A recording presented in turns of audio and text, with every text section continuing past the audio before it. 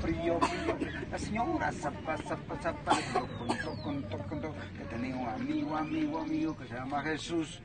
Jesús. Si quieren aprender una nueva.